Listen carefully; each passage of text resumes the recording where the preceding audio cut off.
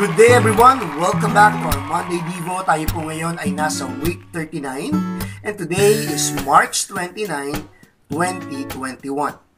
Our topic for today is Fear not, for God is here.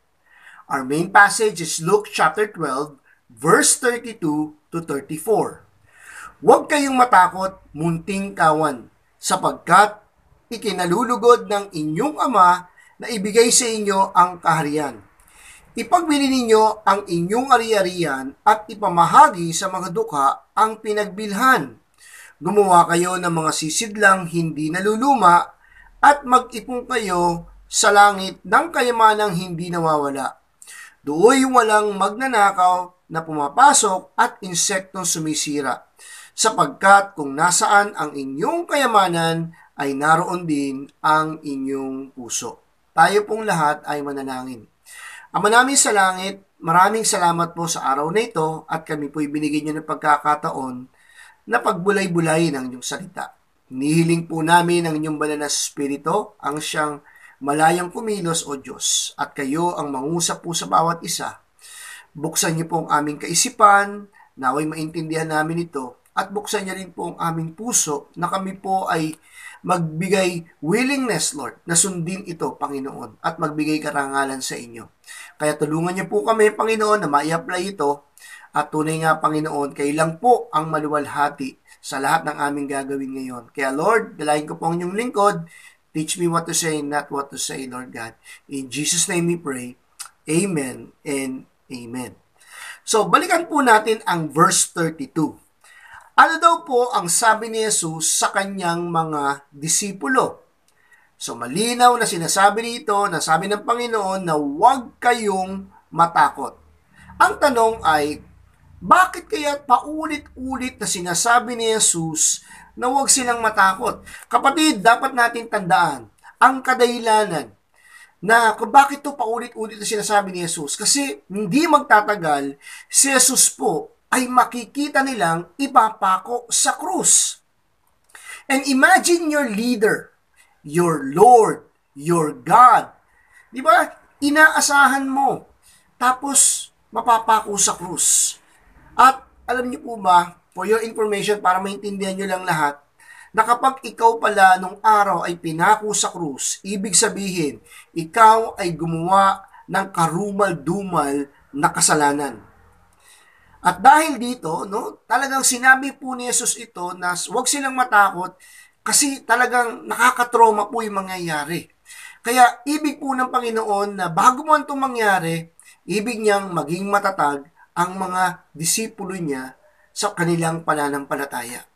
Gaya po natin ngayon, di ba? Kung hindi ho tayo uh, nananampalataya sa salita ng Diyos at kung di sinabi ng Biblia na magkakaroon po ng uh, tribulation sa daigdig na ito.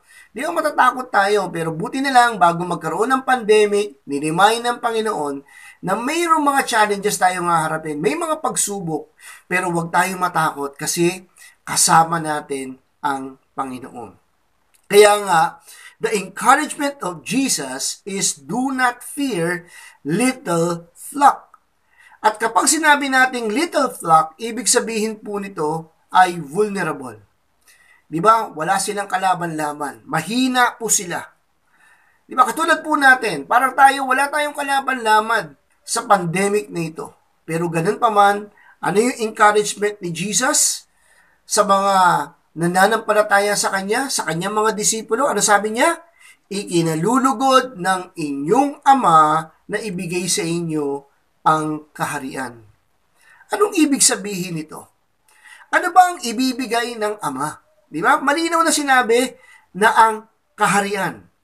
Kapatid, ang kaharian na tinutukoy dito ay dapat natin maintindihan ay walang iba kundi ang ating Panginoong Yeso Kristo. Kasi po, hindi ho tayo paghaharian ng Diyos kung wala ho ang Panginoong Yesus. Si Kristo po ang dahilan kung bakit tayo naakonekta sa ating Panginoon. Kaya nga sa John 3.16, Di ba? Gayon na lamang ang pag-ibig ng Diyos sa sanlibutan, kaya ibinigay niya ang kanyang bugtong na anak.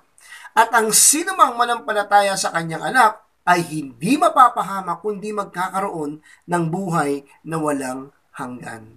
Kaya nga ito'y willing na binigay ng Panginoon ang kanyang bugtong na anak. Kaya nga, yung, yung salitang po yun ay isang paalala sa atin. Kung naibigay ng Diyos ang kanyang bugtong na anak, ano pa kayang bagay ang hindi niya kayang ibigay sa atin? Kaya nga sinabi ng Panginoon, huwag kayong matakot. Kasi binigay ko yung pinaka-importanting sa aking buhay ay walang iba kundi ang akin para lang ikaw ay magkaroon ng katiyakan. Kaya nga, itong, ito pong ating pinag-aaralan is very encouraging to all of us. Di ba? Na do not fear, for God is here. Now, let's go back to verse 31 and let's read it. Kung babalikan po natin yung pinag-aralan natin last week, sabi dito, Subalit, pagsikapan muna ng higit sa lahat na kayo'y pagharian ng Diyos at ibibigay niya sa inyo ang lahat ng inyong pangangailangan. God promised, if we seek the kingdom of God above all else, He will give us everything we need. Kaya nga, ang kahulugan ng verse 31 ay, Seeking the kingdom of God above all else means making Jesus the Lord and King of your life. So, you must allow Jesus to control your life, no? to control every area of your works, every area of your plans, and relationship.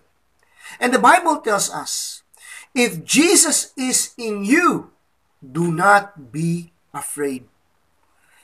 That's why our topic for today is Fear not, for God is here. Nandito po ang Panginoon. Kaya ano ang challenge ni Jesus sa mga disciples niya sa Luke chapter 12 verse 33? So ano yung challenges niya sa atin? Ano sabi? Verse 33. Ano? Ipagbili ninyo ang inyong ari-arian at ipamahagi sa mga duka ang pinagbilhan. Gumawa kayo ng mga sisiglang hindi naluluma at mag-ipong kayo sa langit ng kayamanang hindi nawawala. Dooy walang magnanakaw na pumapasok at insektong sumisira. Alam nyo, kung babasahin nyo to at kayo mayaman, parang nakakatakot basahin kung marami kayong ari-arian. Tama po ba? Ngayon, kung mapapasin niyo sa verse 33, ano bang ibig sabihin nito? Unang-una, tinuturuan ni Jesus ang kanyang mga disipulo kung paano pong magpatuloy sa daigdig na ito. Kasi yung marami yung tao kapag nawala na ho yung kanilang pinangangawakan, nawala na po yung mga mahal nila sa buhay, parang ayaw na nilang magtiwala. Di ba? Ayaw na nilang mag-move on sa kanilang buhay. Kaya dito, inahanda po ng Panginoon. Kaya ano daw ang sinabi ni Jesus sa verse 33? Ipagbili ninyo ang inyong ari-arian at ipamahagi sa mga duka ang pinagbilhan. For your information, this is not literal. So Jesus telling us na if your financial goals and possession hinder you from giving generously, loving uh, loving others or serving God, Di ba? Sell what you must to bring your life into line with His purposes. Sa madalit salita, gusto ng Diyos na i-bless tayo because we are blessed to bless others. Pero kung yung material blessing na meron tayo ngayon o meron ka ngayon ay nagpapalayo sa iyo sa Diyos, mas mabuti pang ipagbili mo na yan at ibigay mo sa may hirap kaysa mapunta ka sa impyerno. Nalala ko po, sabi po ng Matthew 16 verse 26, Sapagkat ano ba ang mapapala ng isang tao makamtan man niya ang buong daigdig, ngunit mapapahamak naman ang kanyang sarili. O nga naman, di ba? Makamtan mo man ang buong daigdig, pero kung, kung kapalit ito ay ang iyong kaluluwa, ano, ano ito? Kaya ano ba ang may babayad ng isang tao para mabawi niya ang kanyang buhay?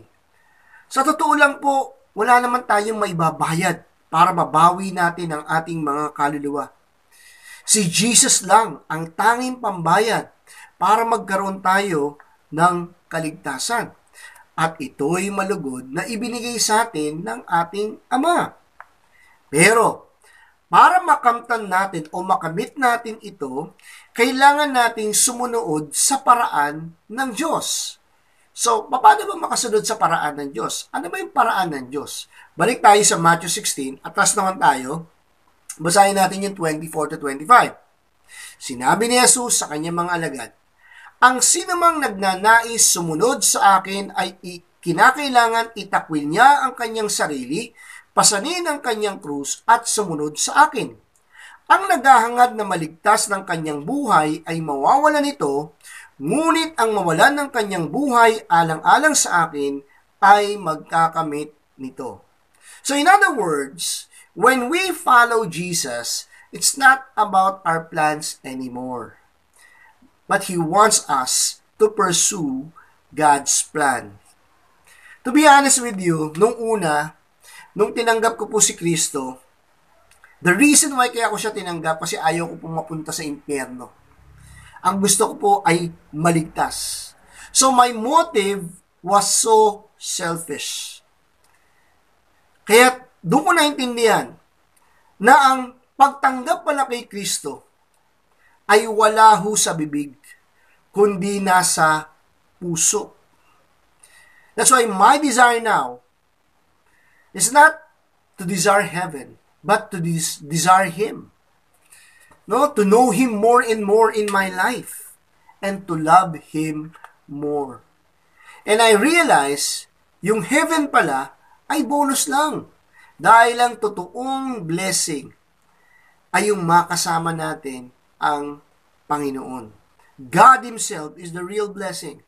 Now, going back to Luke chapter 12 verse 33, ano daw pong gustong mangyari ni Jesus sa atin? Ano sabi? Gumawa kayo ng mga sisidlang hindi naluluma at mag-ipong kayo sa langit ng kayamanang hindi nawawala. Do'y walang magnanakaw na pumapasok at insektong sumisira. So, God wants us to invest that will last forever.